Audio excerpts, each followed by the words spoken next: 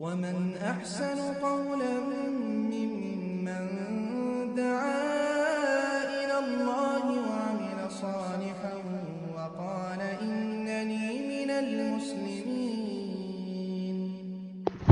ওয়ালাইকুম সালাম রহমতুল্লাহ বারাকাত ভাই জানতে চেয়েছেন মানুষ অনেক সময় শীষ বাজিয়ে থাকে কিংবা আহ, বিভিন্ন প্রাণীর কণ্ঠকে নকল করে থাকে এটা কি ঠিক জি না ভাই এটা ঠিক নয় আহ, তার কারণ হচ্ছে যে এগুলো সবগুলো অনার্থক কাজ। মৌনের উচিত ওই সকল কর্ম করা, ওই সকল কাজের সাথে সম্পৃক্ত হওয়া যেগুলোর মধ্যে অর্থবোধক রয়েছে।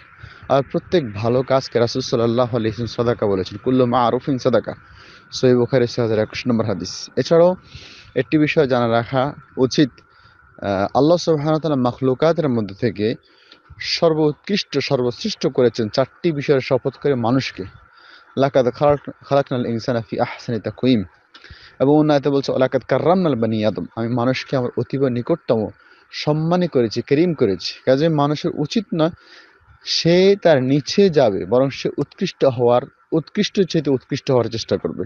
কাজে এই কাজগুলা গুনাহের কাজ, আল্লাহ সুবহানাহু ওয়া তাআলা আমাদেরকে এগুলো থেকে বেঁচে থাকার তৌফিক দান করুন এবং এমন কাজ করার তৌফিক দান করুন যেগুলো প্রত্যেকটি কথা এবং কাজের সব রয়েছে। জাযাকুমুল্লাহ খায়রা